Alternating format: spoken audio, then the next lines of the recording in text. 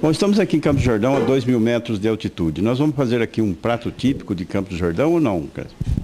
Bom, o prato não é típico de Campos do Jordão, não, porque eu sou carioca, então vamos fazer assim um pratinho.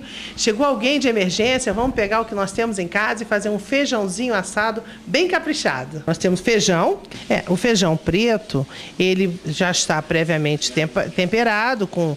Eu uso azeite, alho e cebola para temperar depois que ele está cozido com uma folhinha de louro.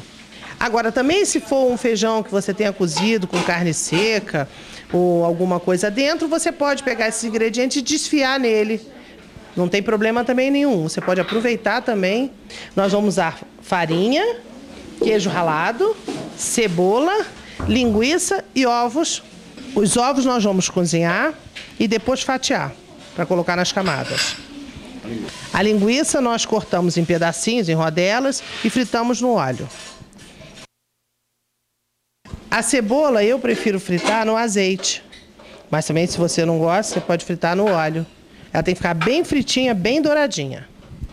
Agora nós vamos começar a arrumar o feijão para depois poder assar. Nós vamos começar com uma camadinha de feijão.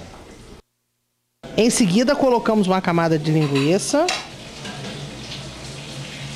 Agora nós colocamos a cebola frita, os ovos cozidos, o queijo ralado e a nossa farinha.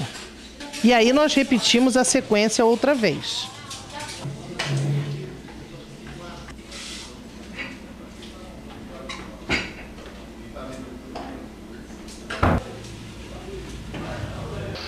Não, queijo primeiro a farinha.